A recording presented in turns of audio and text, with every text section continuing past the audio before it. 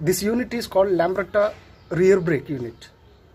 These are the brake shoes and this is the spacer plate and these are the circlips for locking. We will remove the brake shoes now. Circlip tools. I am using this type of uh, plier for removing the circlips and lift it up. It will come out. One circlip is out. Remove it. And this is the second one. Remove this spacer plate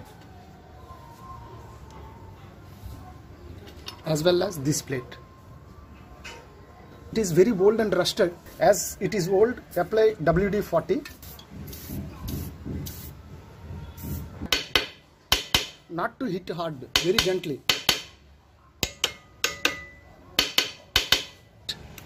Lift them.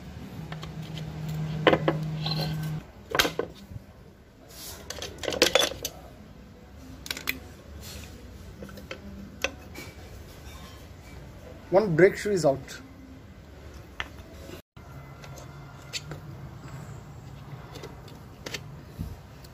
sometimes what happens if it if the pivots are having more rust it will become difficult for removing the brake shoes. What happens? The brake shoe point at this point it will break off. Let it break off. Don't worry. Change the pivots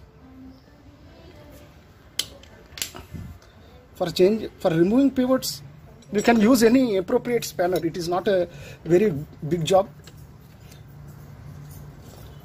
But there should not be any play. When you place the brake shoe there should not be any play. Otherwise if there is a play at this point the braking effect will not be perfect. For removing pivots very simple.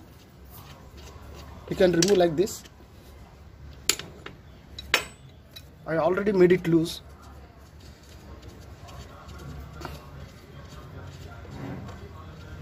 Like this. These are the washers. This is the washer as uh, the second one here it is missing. The washer. The washer will look like this. This is the brake cam. We will remove this also. This is the greasing point. We will apply the grease at this point for uh, lubrication of uh, this part. As we apply the brake it will move like this. So from here to this part we will apply grease for smooth operation of this lever. For removing this separate it.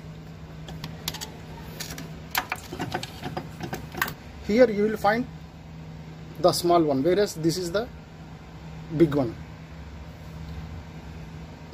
Once you remove this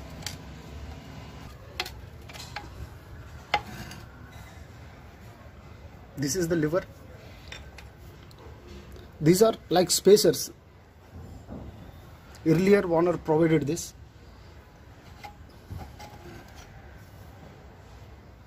The cam will look like this. So here we will open this point also. Let us have a look. This is the point. Actually there will be a hole in between this the grease will enter through this point and will enter through this point and will come out uh, through this point. Through this point. So basically from from here to here we are uh, greasing the lever this one. This one. We are basically greasing this point for smooth operation uh, for raising and the lowering of the brakes as well as this is uh, called the retaining spring to bring back the brake shoes to the original condition. So let us uh, have the parts. These are the brake shoes. These are the pivots. This is cam. This is operating lever this is the retaining spring. These two are the spacers. This is the greasing point. These are also like spacers provided uh, for operating lever at that point. And uh, these are the circlips. These are the two big circlips and one small circlip so this unit is containing all these parts. We will remove some more parts in the next video.